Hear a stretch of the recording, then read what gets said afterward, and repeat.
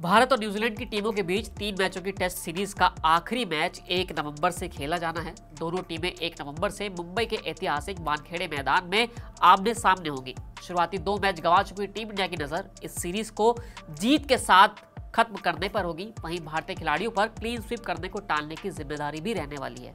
हालाँकि ये मैच भारत के एक खिलाड़ी के लिए काफ़ी खास रहने वाला है। ये खिलाड़ी 11 साल के बाद मुंबई के इस मैदान पर टेस्ट मैच खेलने उतरेगा। Rohit Sharma and company Mumbai test match जीतकर लाज अपनी बचाना चाहती है और वहीं रोहित शर्मा के लिए ये मुकाबला काफ़ी खास होगा। वो अपने होम ग्राउंड पर 11 साल के बाद कोई टेस्ट मैच खेलेंगे। उन्होंने मुंबई के वानखेड़े स्टेडियम में आखिरी टेस्ट मैच 2013 में वेस्टइंडीज के खिलाफ खेला था। ये टेस्ट मैच सचिन तेंदुलकर के करियर का भी आखिरी टेस्ट मैच था। इसके बाद से ही रोहित शर्मा इस मैदान पर कोई टेस्ट मैच खेलने नहीं उतरे हैं। लेकिन अब उनका ये लंबा इंतज़ार खत्म होने वाला है और कमाल की बात यह है कि अब वो टीम इंडिया के कप्तान भी है। रोहित शर्मा ने मुंबई के वानखेड़े स्टेडियम में पिछले टेस्ट मैच में एक शानदार शतक जड़ा था। उन्होंने मुकाबले की पहली बारी में 127 रन पर नाबाद 111 रन की पारी खेली थी।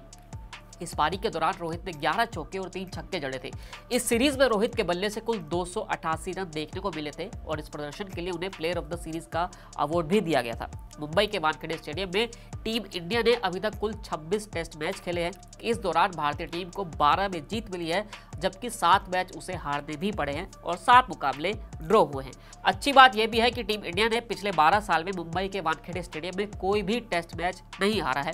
भारतीय टीम ने इस मैदान पर अपना पिछला टेस्ट साल 2021 में न्यूजीलैंड के खिलाफ ही खेला था। तब भारत ने तीन सौ बहत्तर रन के अंतर से इस मैच को जीत लिया था। लेकिन अभी चीज़ें अलग है। टीम इंडिया दो मैच हार कर मुंबई में पहुँच रही है और देखना ये होगा कि यहाँ पर वो टीम इंडिया जीत पाती है या नहीं जीत पाती है। फ़िलहाल इस वीडियो में इतना ही। फिर मिलेंगे नई वीडियो के साथ। शुक्रिया।